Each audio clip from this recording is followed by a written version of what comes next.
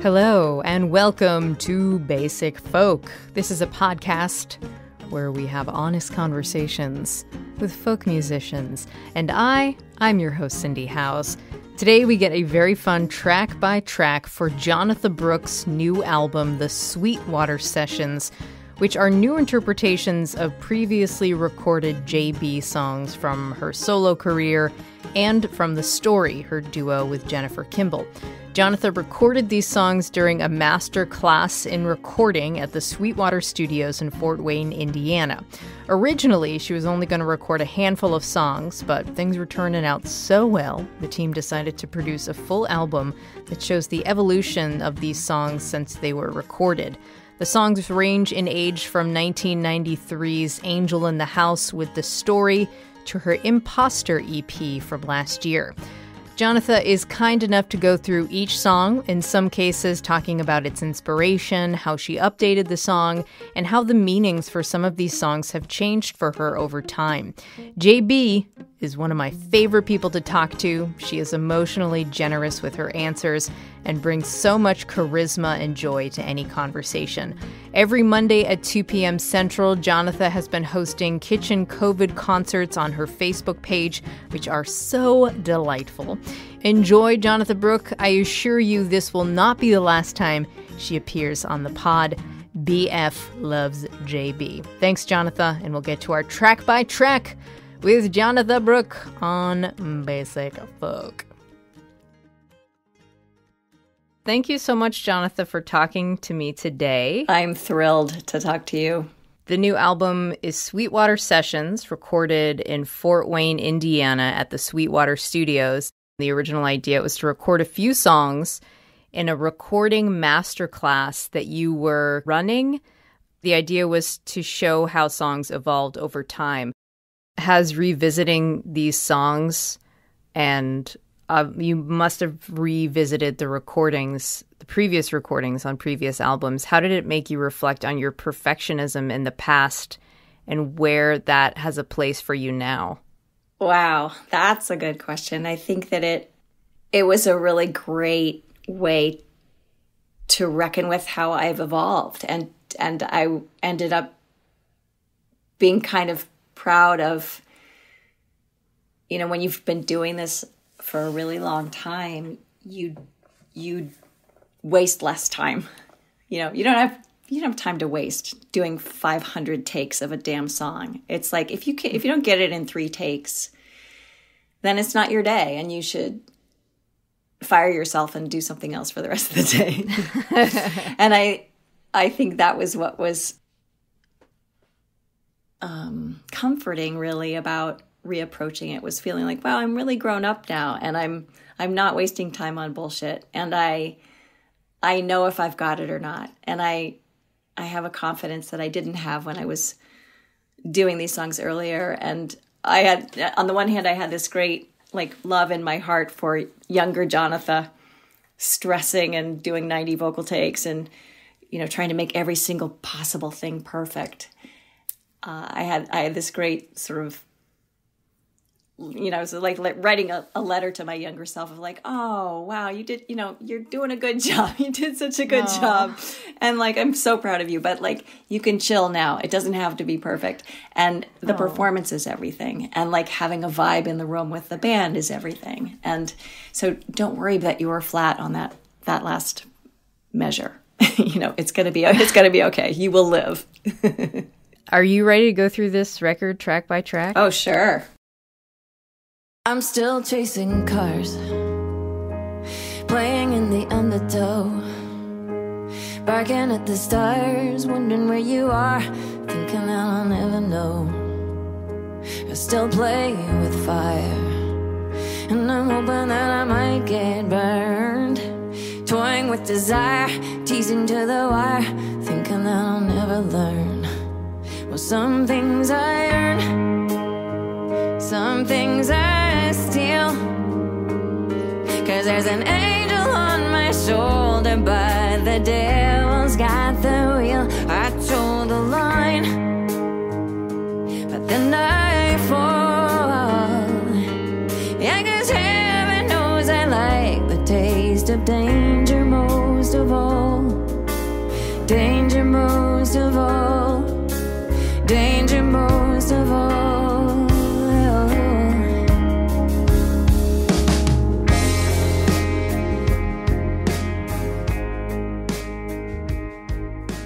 Okay, track one, Taste of Danger.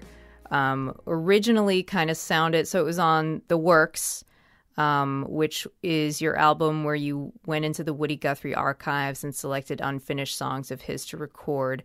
So the original did sound like a classic Oregon roots song, but also a Jonatha Brooke's song. And now it sounds like it's ready for like a Shonda Rhimes show, you know? oh, Let it be. yeah. I mean, that's what I was thinking. Um, but you said that this song was inspired by Woody Guthrie, and I'm interested to know more about about that. I remember because uh, this is actually a lyric of mine, so it, it's one of two songs on that record that it's not a Woody lyric. It's it's all my composition, and but I remember like I was working like nine to five. I, I approached that record like a nine to five job, so I'd spend all day in my room like pouring through the lyrics that I had picked from the archives and and then I would go to yoga and like try to get my body back in order and and I remember like this song coming to me I was uh, walking back from the subway station. I was living in New York City and I and I remember seeing all these little these little birds. And so that's how the little bird song came about. But these little birds that were just like reminded me of Woody Guthrie. And they were fearless. They kept singing no matter what. Like it was February and it was fierce and it was like the 12 below. And but these little birds were just doing their thing and doing their thing. So uh, that's what started me thinking about like wow woody was this fearless little bird and he and he was kind of ballsy and he was kind of dangerous mm. and he was fearless and and that's how i got this idea of like wow maybe it's something about danger and hmm. I'm not expressing this very well, but I just, it, the song just poured out of me. And it was kind of like, well, thanks, Woody, because I felt like he was on my shoulder that whole time working on his lyrics. And the idea of the taste of danger being the thing that you can't get out of your system. Like maybe, hmm. maybe it's the taste of danger that I like most of all. Well, I was thinking about that this song is seemingly about someone who like lives on the edge and seeks out danger like you said. But there is something to be said for living a life on the edge of discomfort as in that's like that's where growth and that's where evolution happens. Where does the protagonist in this song whether it's Woody Guthrie or whether it's you reflecting that in yourself where does that protagonist sit for you? And also like do you think chasing danger is that positive or negative? it can be negative. I mean, if you get into addiction and that kind of danger, then it then it can be super negative. But it's just like this the second verse where I mean, you've probably been driving over a bridge, like a really high tippy bridge, and thought like, what would happen if I just just swung the like? Would it be so bad? I mean, it, like might be euphoric for that minute when you're like flying off the bridge before you die. Like, is there, you know, I don't know if you, I think that does do other people have those thoughts? Because I have them sometimes. I think too. that they do. That I've asked a few people, and they've like, "Oh yeah, that happens to me too." Like when you're standing, you know, on at, at a, on a height, or you're just like, "What would? Ha- what if? What if?" And you you're not suicidal. You're not really thinking you're going to throw yourself off the Golden Gate Bridge, but there's this "what if" feeling um, and that's, I mean, that's what I'm talking about in that verse. I do feel like danger and fear for me have been creative spurs for sure. And when I'm mm. terrified is often when I'm most productive and I do things that I never thought I could have. Like um, my my one woman show was that way. I, I don't think I've ever been more terrified than every single night when I walked out on stage you know, seven nights a week, it was like I almost thought I would die of fear. Wow. And yet I ha- I had to it felt imperative that I do it, that I write it, that we produce it, that we somehow make it happen and we somehow did.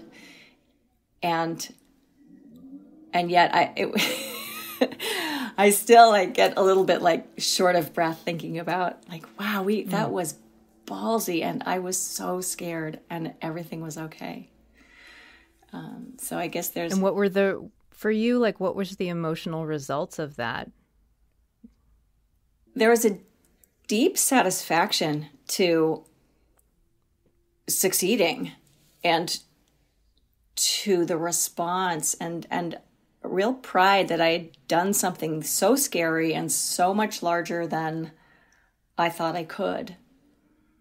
Um, I wonder also if that like makes you like fear death less. You just continue to do scary stuff. Well, it's funny. It's not funny. It's funny. Um, three things. The one time that I really did think I was dying, and I have been terrified of death since I was six years old. I've, I've, it's been something that wakes me up in the middle of the night in a cold, freezing, like terror. Like there's a Philip Larkin poem called oh Aubade, which details exactly how I feel. But it's just this like clutch of terror like like talons in your heart of like hmm. oh no this this is it. This is all we get. There will be nothing. There will be nothing at some point. There will be nothing nothing nothing. Will be there will be the end of us. And that's not okay there's nothing i can do hmm. about it but that's not okay Right. but the one time when I really did think I was dying. I was like, I had this weird thing happen at the end of my run of shows at the public theater where I ended up in the hospital because I was so dehydrated that I almost died. but anyway, I'm in I'm in my house thinking like, oh my god, this is it. I had collapsed. I, it felt like I had a stroke. I was all alone in the apartment, and I'm like, huh, I think I'm dying. I, I have this like unbearable headache. I can't speak. I can't see straight. The room was spinning. I can't move the right side of my body. I can't even see the phone to dial it. But then I, I lay down in the front hall and I'm like, huh, I guess I'm okay. Like, I think that I'm not scared for some reason. And I did not expect this to be the case. And I started thinking, like, I guess I've had a pretty good run, and I, I had I don't really have any regrets. I've loved really well. I've done some cool shit. So if this is it, I'm gonna be okay with it. And that Wow. yeah, I know. Like someone who has been terrified. And then not too long after that, I'd been with Pat, my husband's mom, when she passed away. Like we were the two that were with her as she transitioned. And then I was with my mom when she died. And that takes a little bit more of the fear out of it. Um, so, in a way, like that terror does not come back anymore the way that it used to, wow. which is, yeah, which is weird because I am the, I was the most terrified person. Wow, wow. Hold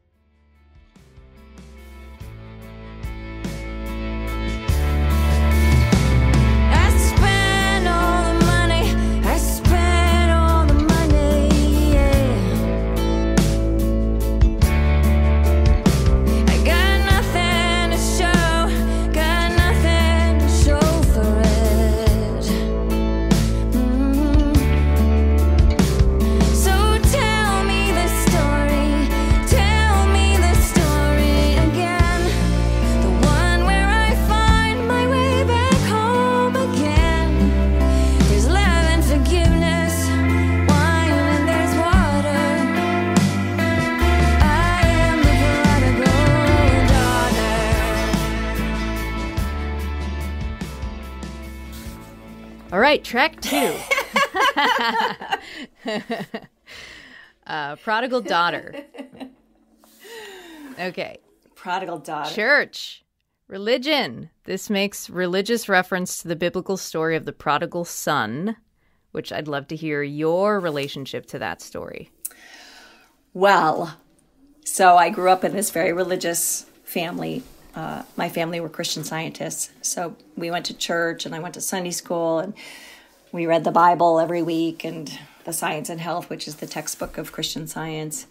And I would find, uh, I never I don't feel like I ever fully became a Christian scientist. I certainly know all the jargon and the splalangis, and I and I I could sort of cop the trappings of what it felt like to have faith, but it didn't feel honest or true to me.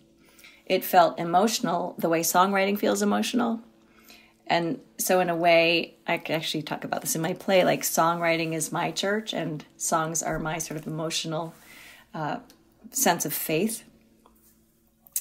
Um, but I always loved the Bible stories, and in particular, the prodigal son, because there's this incredibly emotional part where the prodigal son he's you know he's run away he spent all the money he partied with the you know he got drunk and he was a druggie and he you know, he ended up in a ditch and he finally came back because he was embarrassed and he had nothing left and he had to ask for help. And the dad took him in and like forgave him and threw a party and killed the best pig in the barn. And, and the other brother was wicked jealous. And the other brother's like, God damn it, you know, like I, you know, I worked my butt off. I didn't waste all your money. I didn't run away. I didn't have prostitutes and drugs. And like, what the hell, dad?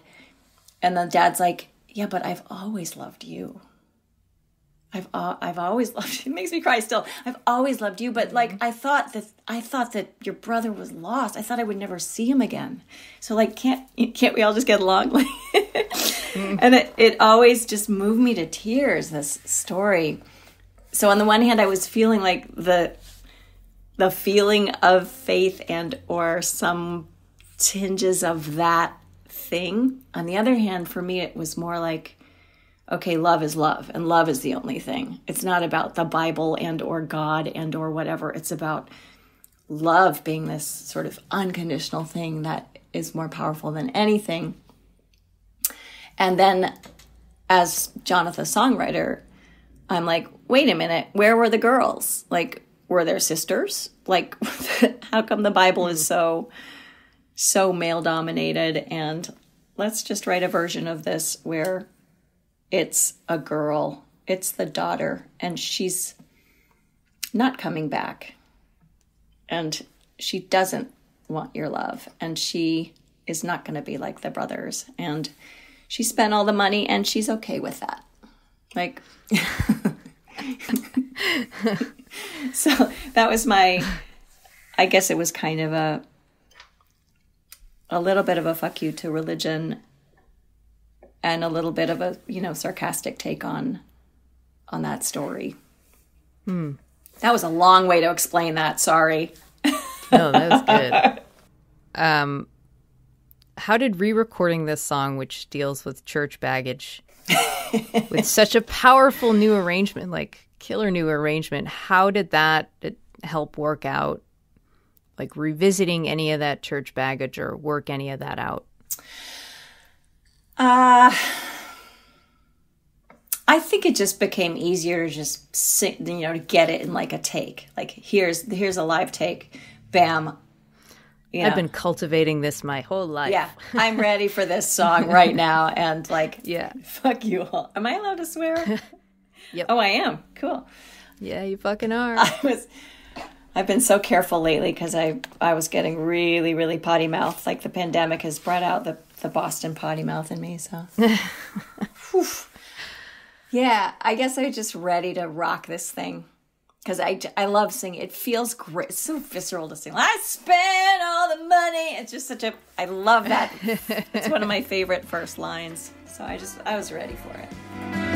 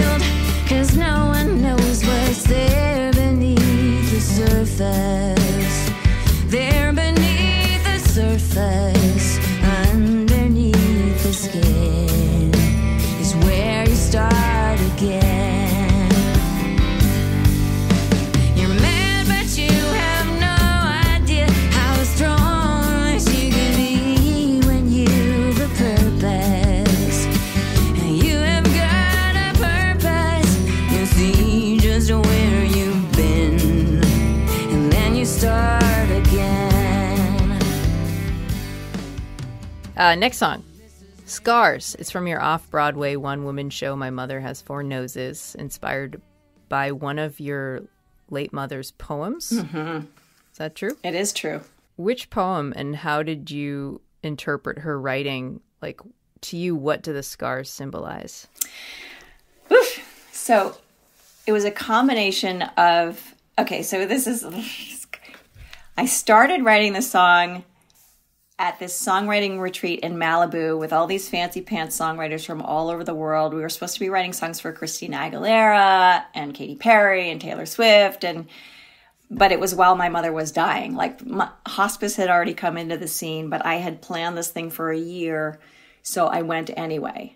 So I'm there trying to come up with songs for these pop stars, but of course all I can think about is my mother dying and like how am I going to deal with this and but Christina Aguilera in particular had had wrote this sort of had written a um, like here's the kind of songs I'm looking for to her publishing company. So she's like, I, I really, you know, I'm older now and I've been through a lot and I, I want to write, I want to, I want songs that really reflect who I am as like someone who's actually been through some stuff and like is proud of her scars. So I'm like, oh, let's write that song. Let's let's write scars. So I started working on this song called Scars, and it was the beginnings of this song. And I started playing it for the other writers there, and they're like, I don't know if this is a Christina song. This sounds like you're writing about your mom. so I'm like, well, yeah, but but I'm supposed to be I'm supposed to be writing pop songs, but, uh, but like, come on, you guys, like just let's just try it. I, which like she, I think she would do it great. and they're like, Jonatha, you need to go cry this out and like come back to us when you want to write about partying on the 405. Like, okay, so um, I ended up not finishing that song there, and I went back into the, writing the the funner songs with them, and I finished it when I got home, and it was. Um, so part of it was about getting my mother through surgery uh, which was harrowing and awful. And dementia does not mix well with anesthesia or surgery or painkillers mm. or rehab. It's just it's just an impossible, impossible thing. And it was awful. At the same time, I was I was reading mom her own poems, and one of her poems had this refrain in it, which was she was writing a poem about younger writers. Like a, a poem of of like here's how to how to be a writer. Like you hmm. you younger writers you you have to be diligent and you have to you have to wait for poems because they're they're like wild animals. You have to leave crumbs so that that they'll start to trust you and they'll come every day and you have to be very very very still. And then you have to wait and then you have to start again more than you ever dreamed you could. And i'm like mom that's so that, oh that's so great. So that's what i stole from her poem, poem to a younger writer. I stole that for my refrain because everything I was going through with mom was like, you know, like Groundhog's Day. Like every day was starting again, and and getting her through surgery was just crazy. Starting again every mm. every ten minutes, basically, because she just didn't understand what was happening. And then, of course, the idea of the scars was it was for Christina Aguilera. That's great. you also added a wicked guitar solo at the end of this song.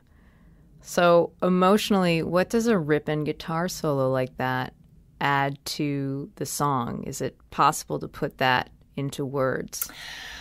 Oof. It's a real release. It and it felt actually was Ben Butler's idea. We were working on this song as a potential song to present to Jessica Simpson, um, who actually fell in love with it also. And I was working on a couple songs for her uh, a couple summers ago. And so I'm like, huh, wow, this might be cool to do for Jessica Simpson. Like, let me play it for her. And Jessica's like, I love that song. That's awesome. So, like, Ben Butler, my guitar player who helped me arrange the songs for Four Noses, we got together and we were like, let's see what, like, let's reapproach this and let's make it faster and let's add a, like, totally awesome like tag that rocks. And so that was where that idea came from. And when I went into the studio to do this at Sweetwater, I'm like, huh, where did that where did that demo go? Oh, because I loved what we did. So that was where the idea came from.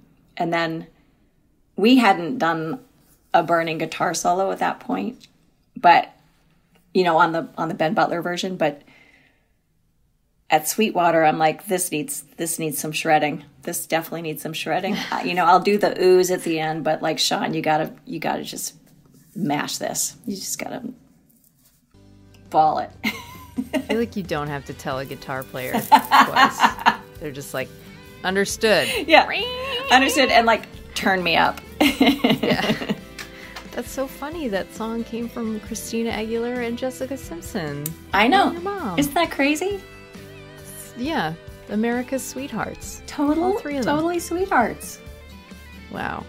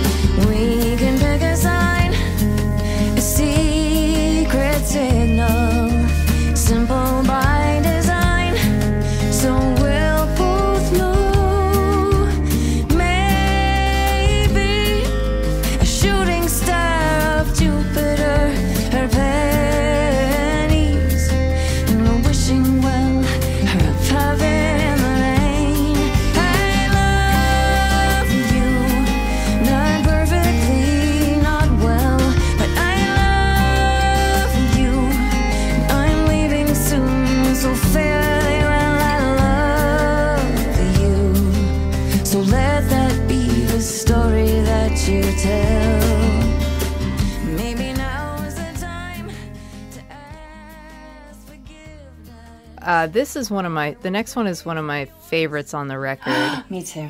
uh, Twilight. And yeah, you say, I love the story this song tells. It's absolutely, sadly, apropos of the COVID 19 moment, saying what you need to say before it's too late. I'd love to hear more on that thought. The original story is that it was um, a friend of mine's father. It was. Did I already tell you the story? It was like a birthday party for a friend's dad who was turning sixty. So it was a big, you know, a big landmark year. And but he'd been he'd been diagnosed with cancer just recently. So he hmm. came to the party and no one knew yet. But he decided to like talk about it at the birthday party. And so my friend showed me this video of her dad basically saying, "Look, I I just got this news and I'm so thrilled that you guys are all here because I I need to tell you this thing and it's that I don't know how much longer I have. And so I need to tell you some stuff now and I want to tell you how much I love you, how sorry I am for the ways that I have failed you. I'm so sorry about the divorce. I'm sorry about the infidelities. I'm sorry I wasn't there for you, you know, when you were little, but I just need you to know how much I love you. And and I hope you can forgive me. So that was the you know, so my friend's showing me this video and I'm like Wow. so I'm like, I gotta just I'll I'll see you tomorrow. I just gotta go write that song. so it was you know one of those sort of uh, the channel was open and that song just uh, kind of poured right out.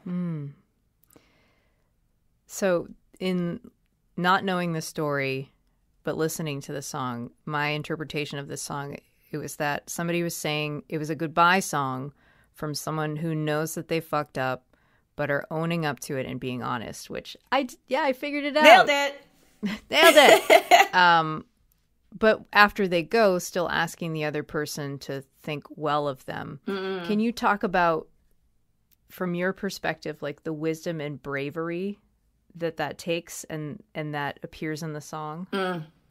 Another friend who had made this pact with her mom before she died. The mom had had a long, long bout with cancer and finally uh, succumbed.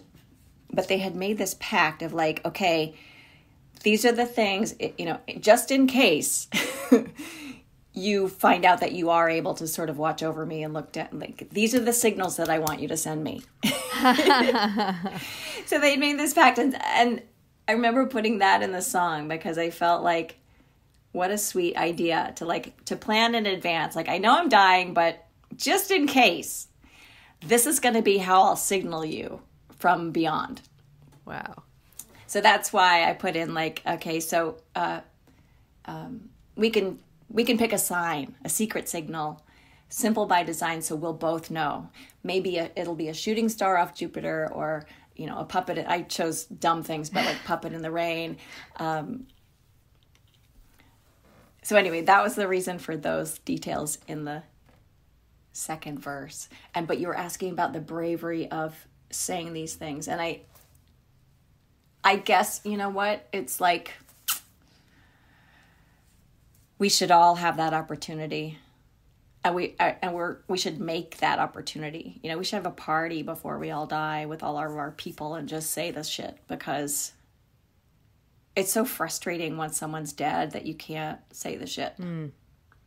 And I do, I do think that that's, boy, is that obvious now with all the COVID deaths and the people that can't be together for that passage that are like on iPads and iPhones saying goodbye to their loved ones. It's just yeah. excruciating and awful. And all that to say, I guess it's a it's a good example. I mean, you know, the song is a, a, an example, and that and my friend's dad is a great example of like, wow, this is how this is how to do it right. Yeah, truly. Look me in the eye when twilight comes.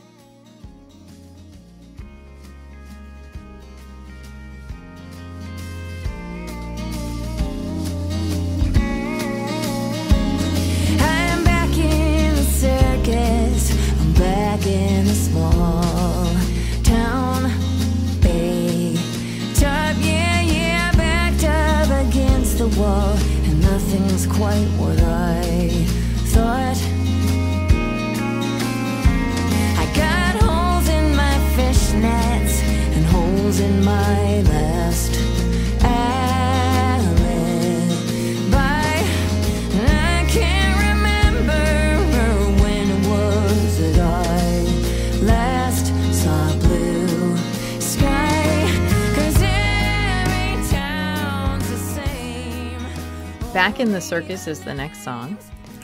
um, let's hear a little bit about what the circus girl is like.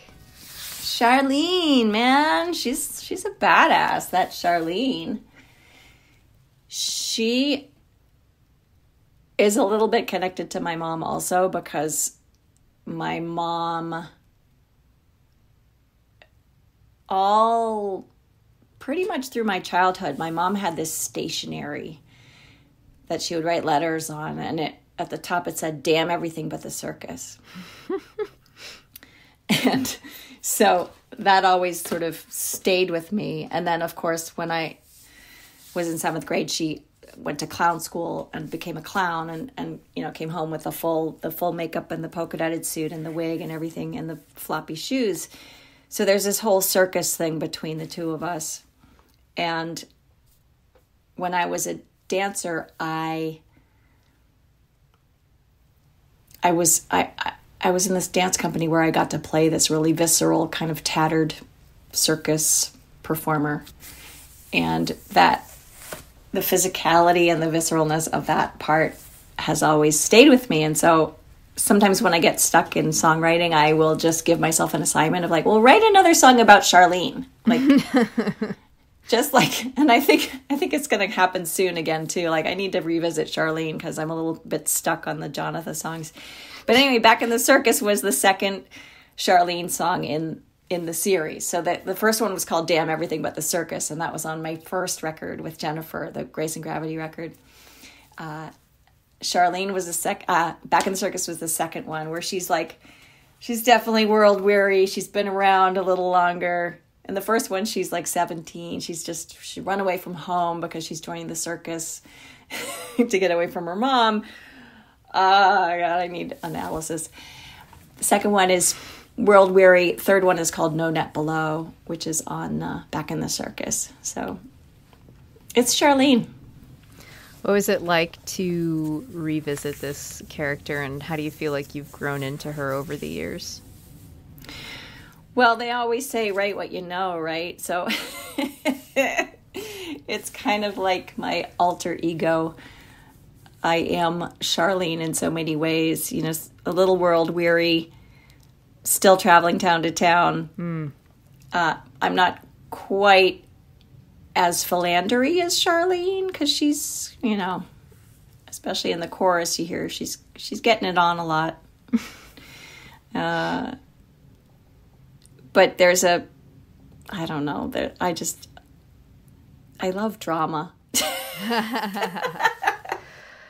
I remember um, the last time we had an interview together, like right at the end of our time together, we like broke through this new topic of being uh, an older woman in our society who becomes right. invisible. And I was gonna say at the end of our interview that like we should probably wait until you have like a new new record like with new new songs to talk about that fully. But i'm also interested in maybe like how charlene might feel about that particular topic of um, women becoming invisible and the pros and like you know basically what a character like that would think about it.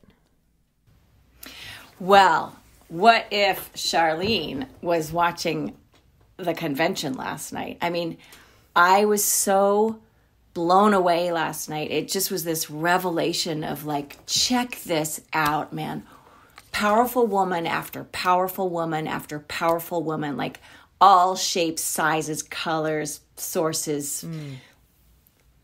And it was awesome because it it was just the full range of amazing, powerful voices. And and I was watching it on MSNBC. So you got Joy Reid, you got Rachel Maddow, and you've got Nicolle Wallace. Like, what three better badass women could mm. you have like from such different walks of life but like such powerful voices and such awesome ways of seeing things and explaining them and like such camaraderie that's what made me yeah. so happy i was like, like, fun they fucking they fucking love each other yeah. they're loving this and i love their take like dudes are like so 10 years ago it just felt like finally finally, like, this is so much more interesting than watching three dudes talk about shit. Because they're so they're so colorful and they're so inclusive and they're so loving and they and they have such empathy. Just like i think we just have more em- we're chicks. Like we, we fucking get shit and we feel what other people feel. It's just like it's it, it's built into us but it's so compelling to see it represented so powerfully this week and so anyway i was like that felt amazing and it it just felt like I was in love with them all. And I was and they were sexy and old and badass. And I like Elizabeth Warren, I fucking love you. And Kamala, Jesus, unbelievable. And that was super exciting. And it made me sort of feel like I'm so glad I'm not young. I'm so happy to be 56 right now because, like, oh, it just feels good to like be in that kind of company, you know? Hmm. Man, that's awesome. I would love to talk more about that next next time. but now, Call, call me anytime. We'll have a glass of wine and we'll just Oh, that talk about good. it.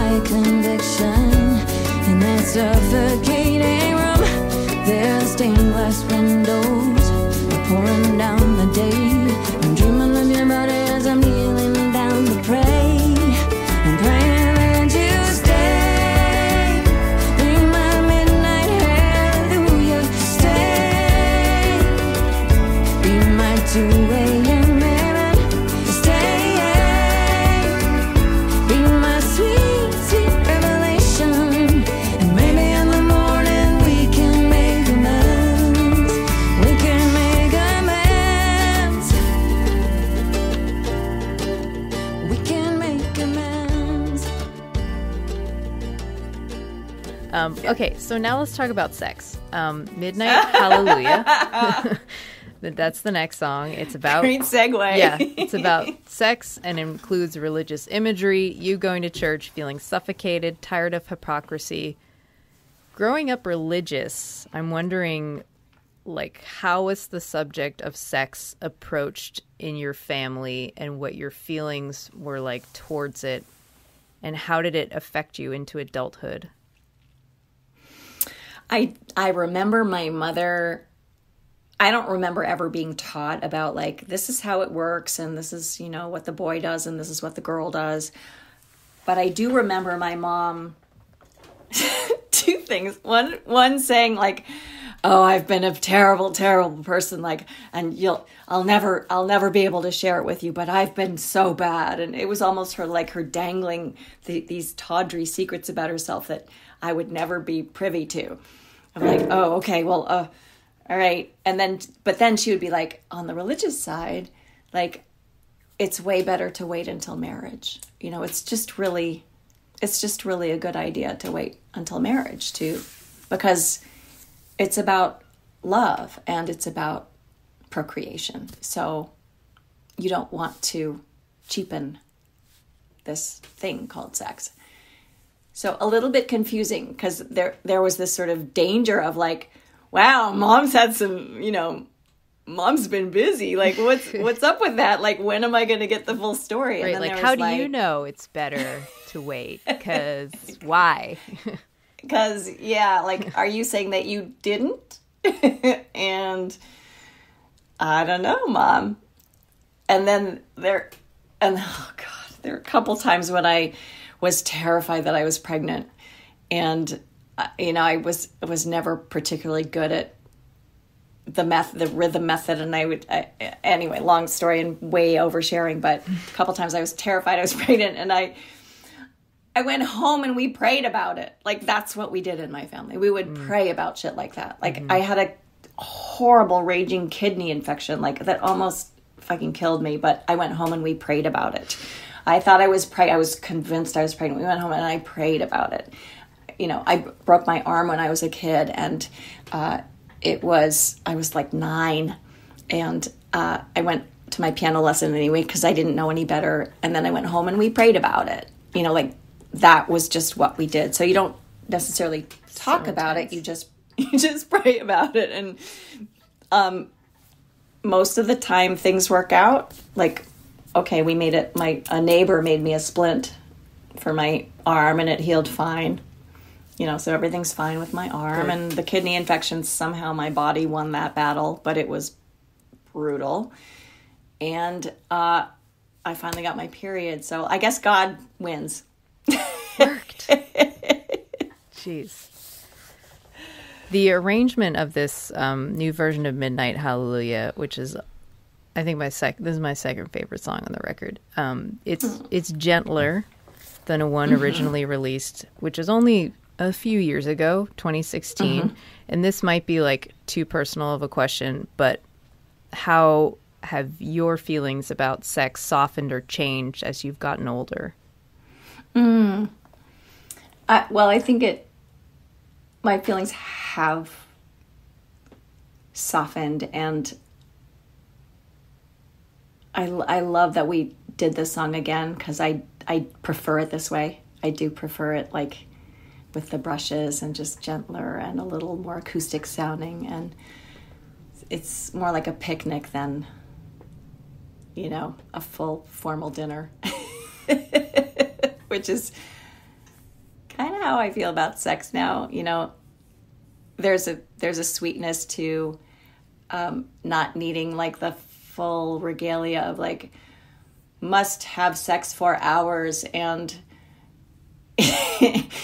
and uh, have a million things happen for me and or there's just the sweetness to like oh let's just have a quickie.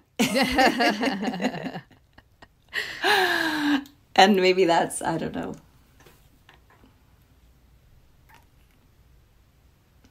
That's my softening towards towards it Love it. it's a, you know, it's a thing. It's a like lifelong perspective shifting, I guess, with sex. yeah it really is Yeah. and to and it's funny because as you you remember as a kid like seeing your parents when they were in their 40s and just being so grossed out by the the idea of them having sex you know like oh it's so gross they're so old ew and then like here i am i'm 56 like a fully sexual being and like actually probably more in my body than I've ever been hmm. and more comfortable in my body than I've ever been. And the irony of that is so funny because I'm older than my parents were when I thought they were gross. Right. oh, that's hilarious.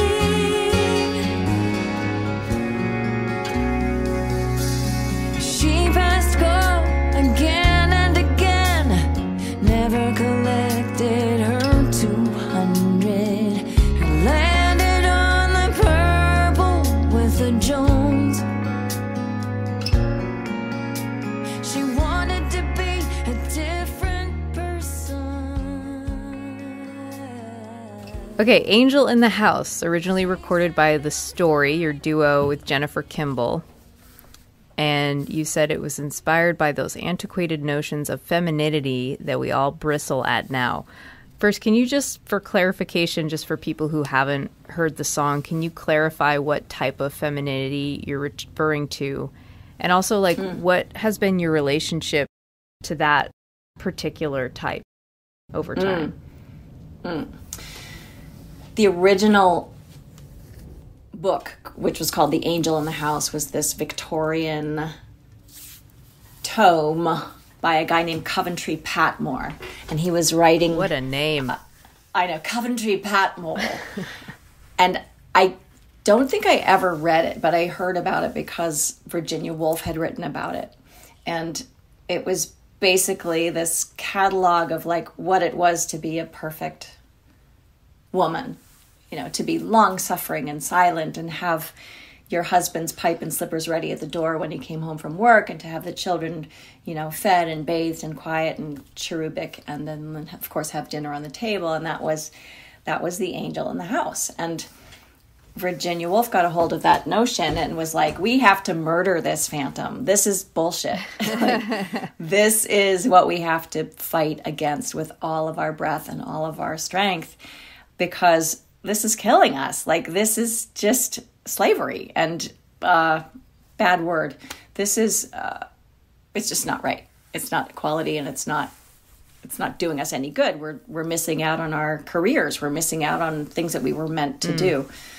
Uh, so she wrote about it in that way, and that's how I heard about this notion of the angel in the house. And so m- my song is sort of a combination of my mother and my grandmother in a way. Uh, but it is true that my mother moved the furniture when the shit was hitting the fan with her and my dad, and uh, and that that's the first line of the song. My mother moved the furniture when she no longer moved the man. Mm. Uh, and I think that even I mean, my mom did work. She was a poet. She was an essayist. Uh, she was a writer. But the bulk of the child rearing fell to her. You know, my dad was a journalist. He was traipsing all over the world, covering the troubles in Belfast and the civil rights stuff in the South uh, for the Christian Science Monitor. So, you know, he was doing what what he wanted. But you know, mom was a talented writer too. Hmm. But you know, look what happened. My grandmother was wicked talented. She was like incredible pianist. She could play anything, any key. Uh, but she just got squelched and suffocated by my grandpa. So it was me sort of bristling at all of that and then bristling at my own tendencies to def- defer and uh, what's the word that I'm looking for? Um, not defer, the word where you like you give up your shit for the other person. you. The only word I can think is sacrifice, but that's not what you're looking for. Sacrifice. Oh, it'll come to me.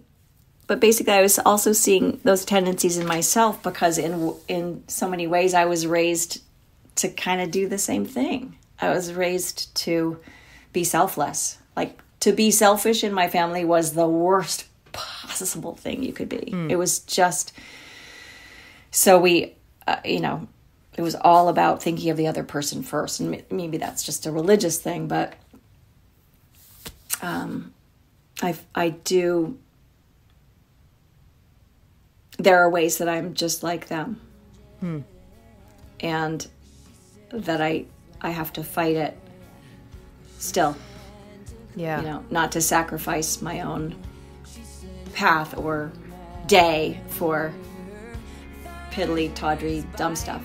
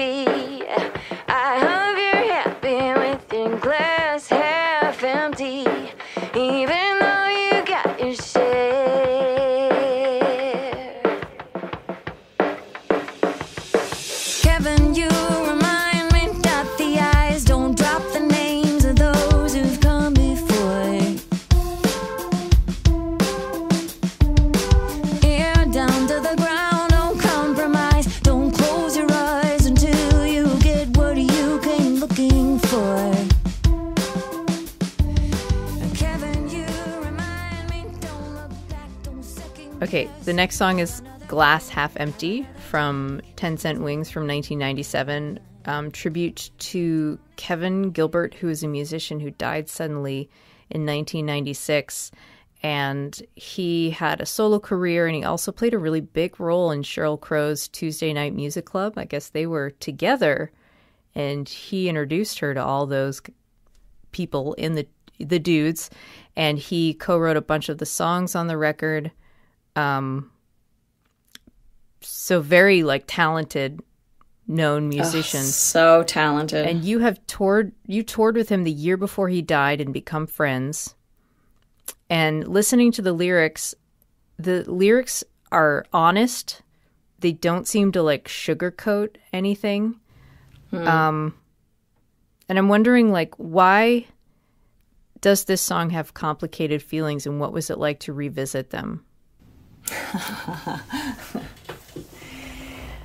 Oh, you're so good. I think, um, okay, what's complicated about it is that on the one hand, I admire him so much. He was such a brilliant musician.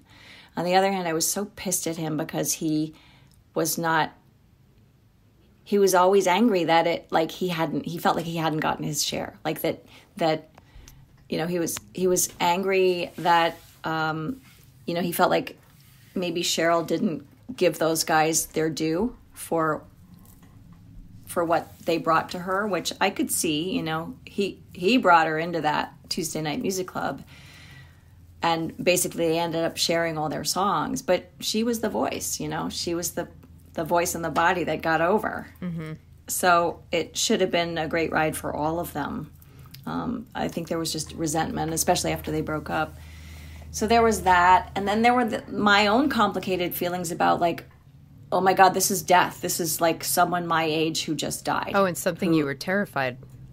yeah, of, and I was still terrified of it, and I was on the road, and it seemed like, even though I was a grown up, it felt too grown up. You know, like I don't understand this, and if this is true and this could happen, then anything could happen and I could be next. And what does this mean? And uh, what do I do with this information? I think it. I think it hits everybody. Like if if a if a contemporary, you know, dies, it's that first time that it happens. It's really sobering and life changing, and it really does fuck you up and I so I found myself on the one hand sad, on the other angry because I felt like in some ways, you know, he'd kind of brought it on himself, and then and then terrified, uh, and then Oh, that is complicated. so complicated, and then like also, all right, let's live now, people. Yeah, yeah. like I'll have another whiskey. so it was very it was really I remember just like we were in a bar in Germany. I was on the road in Germany with uh, was I with Nick and Ingrid? I might have been with Nick who actually had toured with Kevin. Who is on this Yeah. record. he the he's the drummer. Yeah. Yeah. I don't know if it was Nick or if it was my other band, but I know Ingrid was there and we just got shit faced because we were just in shock. And, Hmm. you know, we're in Germany, like, what the fuck? What just happened? Like, Kevin, what do you mean Kevin's gone? Like, this is not possible. Two two notes on this song that I really like. I like that you address him like by his name, like Kevin. That's pretty powerful. And the other thing is I think in general your voice sounds incredible on this record and you seem really happy about it, but in particular it seems like you are just like pulling out all the stops on this song Thank you. and it sounds like I like if I tried to do it, I would need to go to the hospital. but it's just like so fun to listen to like your voice on that song. I do remember like that like there were a lot of Kevin Gilbert fans among the studio geeks that were at the Oh workshop. wow. So I do remember this one really mattering to me of like cuz most of them knew this song and this is one of the first ones that we tackled in you know during the workshop. And so I remember like really wanting to step it up a notch and we did a lot of I think we did a few takes of this one cuz it just felt good, and we were finding the groove, and it took us a few more than it than usual. But um, I do remember like, all right, man, I gotta this is I, I gotta prove myself on this Oh one. my God. so I think you heard that. Kevin, you remind me, don't look back, don't second guess. Have another go, have another drink, cause it The next song is a Beatles song, Hide Your Love Away, which you put together for a John Lennon tribute. And the arrangement is like pretty different than the original Beatles recording. It's bolder, it's brighter. You've kind of like turned this into an anthem where you're like, hey, you've got to hide your love away.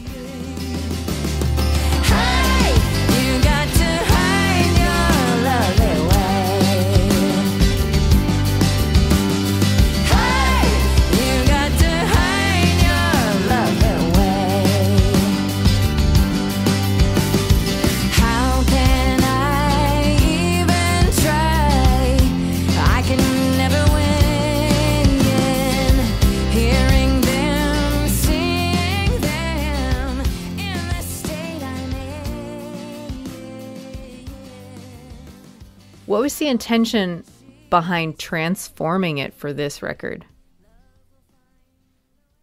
I think it, whenever I do a cover song, I don't want to sound like the original at all. I do want to take it as far afield as I can and make it really my own. So that was the biggest part of it. And then I, I was thinking of what's the what's the band that does like the Red Sox theme? The the it's like a Guthrie lyric, but the but it's a like a sailing up to Boston or something like oh there's some sort of like ha Is is it the Dropkick Murphys? yeah, the Dropkick Murphys. I was kind of thinking of that, that kind of like abandon, and then, so I just had everyone come in and like sing the hay with me to to make it more more fun. Um, and then I love like, and then we got this idea like right right during the recording session, which is always exciting when something just happens by mistake. I started hearing it like this two against three because I started dancing a jig to what we had already. I started dancing like something in my body was like the other, the three against the two, mm. or what, or the two against the three. I don't. You hear it in that last chorus where we sort of go into a different groove, and I'm like, "That's oh, we got to do that. That's so cool." so like, and that'll take it even further away from the Beatles, but it was musically super exciting to just try new things with it. Cool. Yeah, it sounds awesome.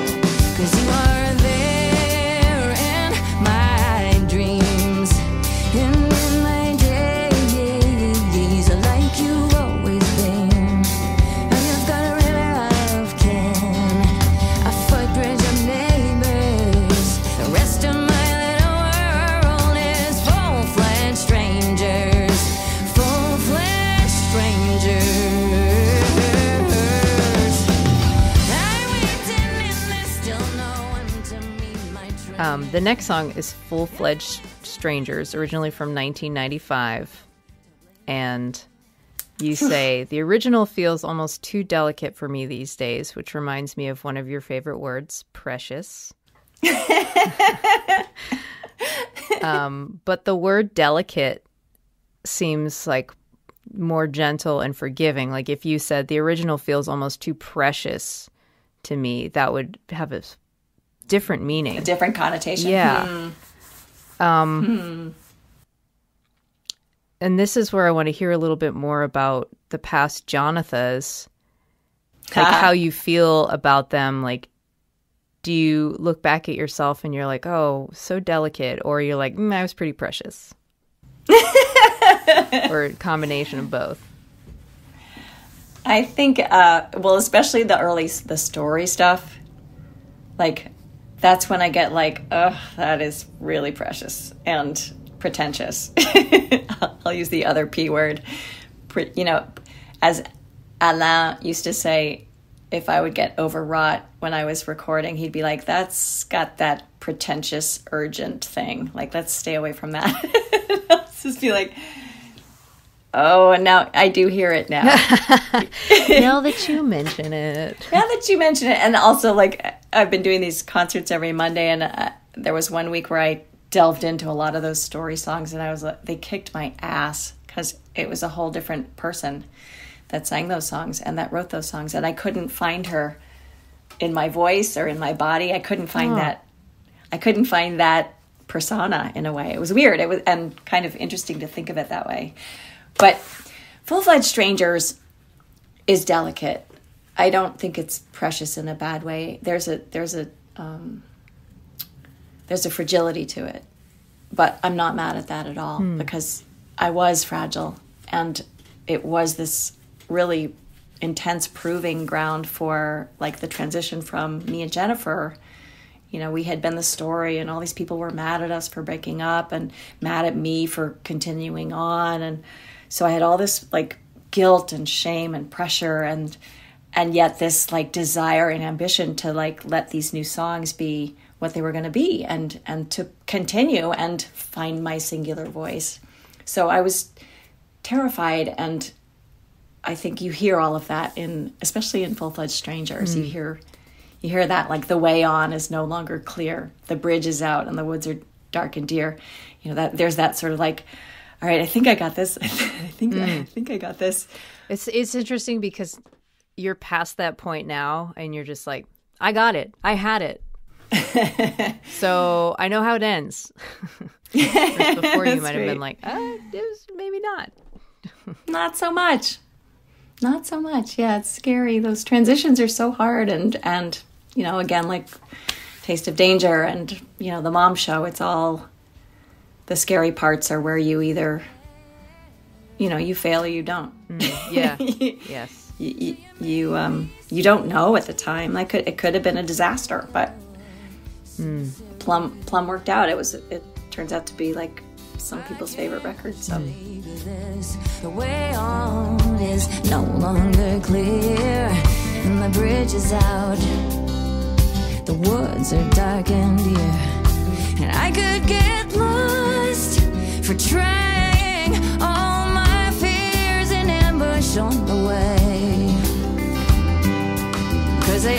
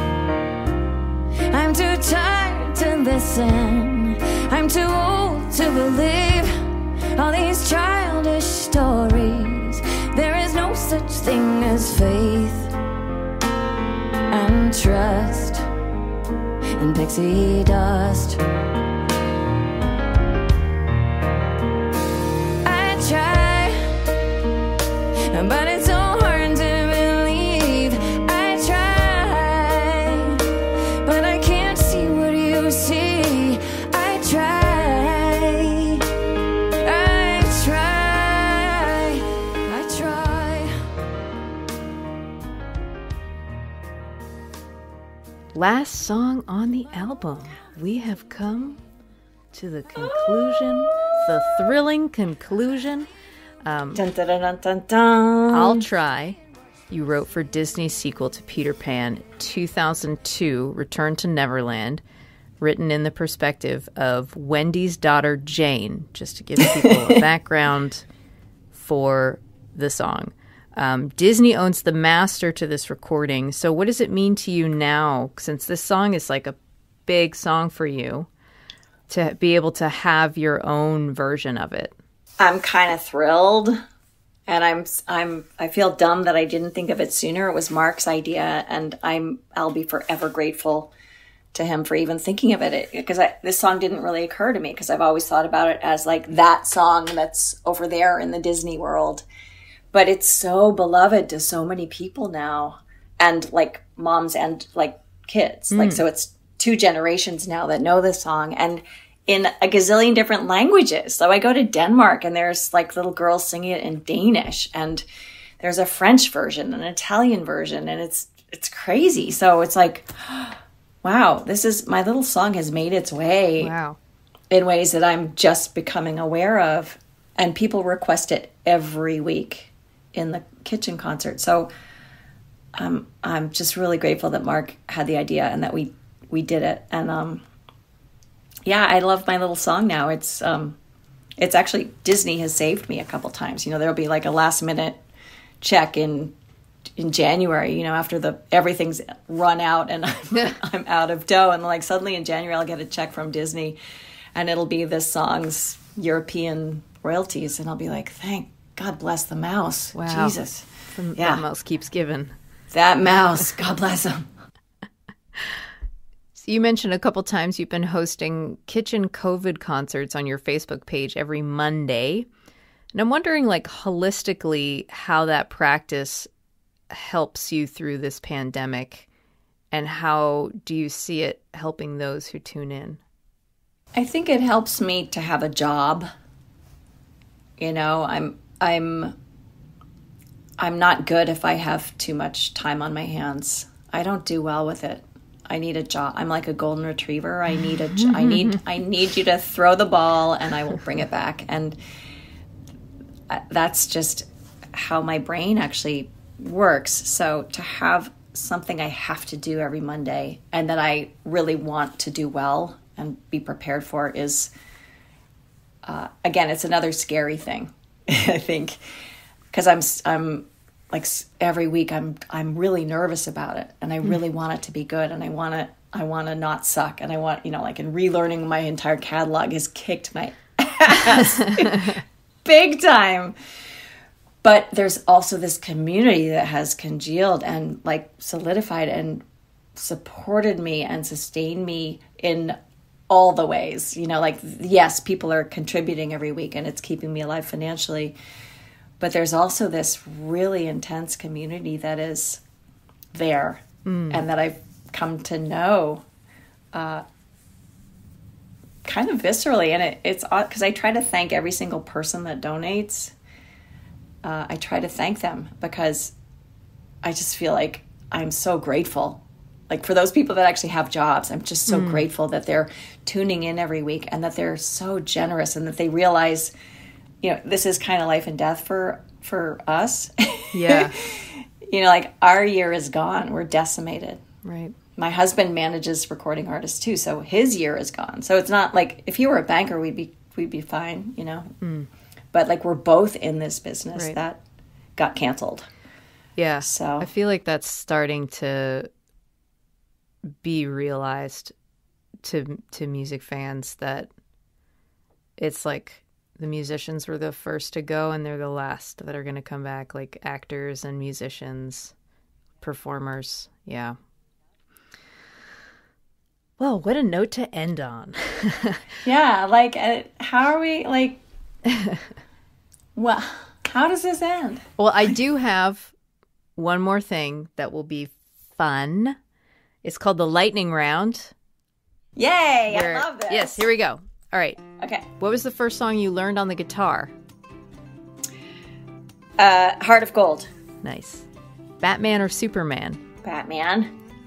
What is your karaoke The TV song? show. Oh, the, which the one where he's like the pow? Yeah, Yeah. the POW TV show one. Yeah. Uh, my karaoke song would be probably "What If God Is One of Us." The way you said that that song title is not the way that uh, normally. Like a Valley Girl. yeah. What if God was one of us? that was funny. Besides now, what has been your favorite age? Um, forty.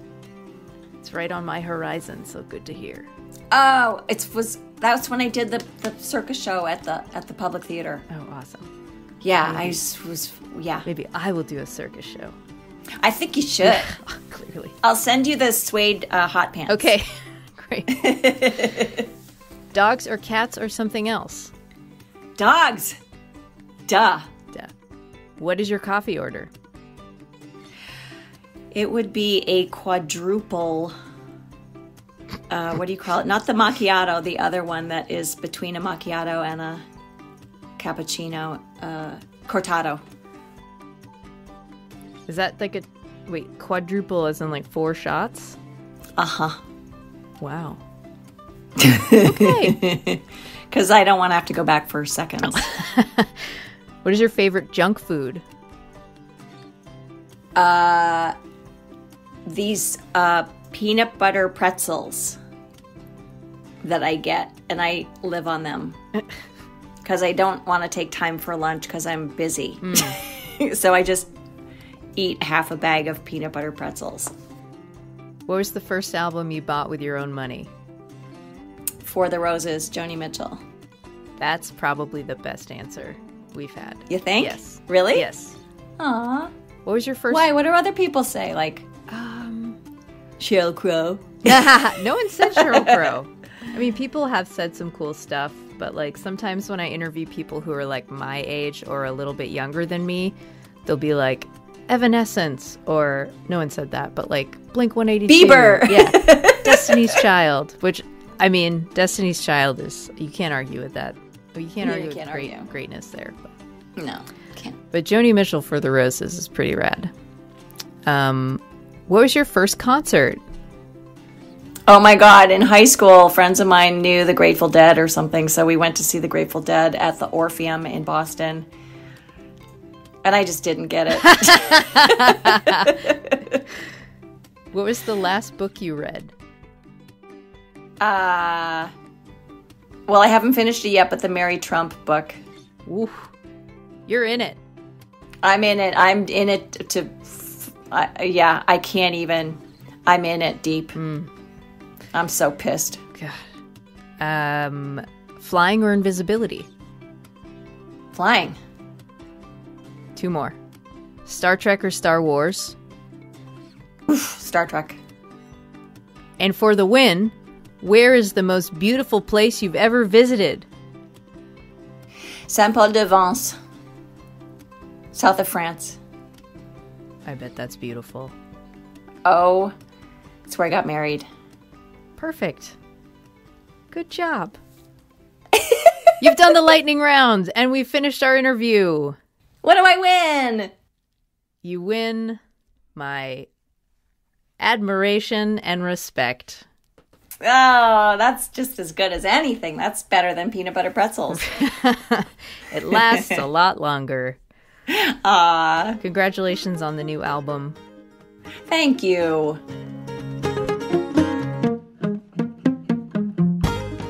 Basic Folk this week produced by Laura McCarthy. Lindsay Myers is our business manager. Alex Stanton of Townspeople does our music. Basic Folk is proud to be on the American Songwriter Podcast Network. You can go to my website, cindyhowes.net, check out all 88 episodes of this podcast. It's cindyhowes.net or get it wherever you get podcasts. We do this every week no matter what, except if we don't feel like doing it, which is a possibility, but we usually do. So there's like a 94% chance that there's a new Basic Folk episode every week. So there's lots of episodes. Okay, I don't know what I'm talking about anymore, but it's been very fun to have you listening. Thank you so much. Okay, bye.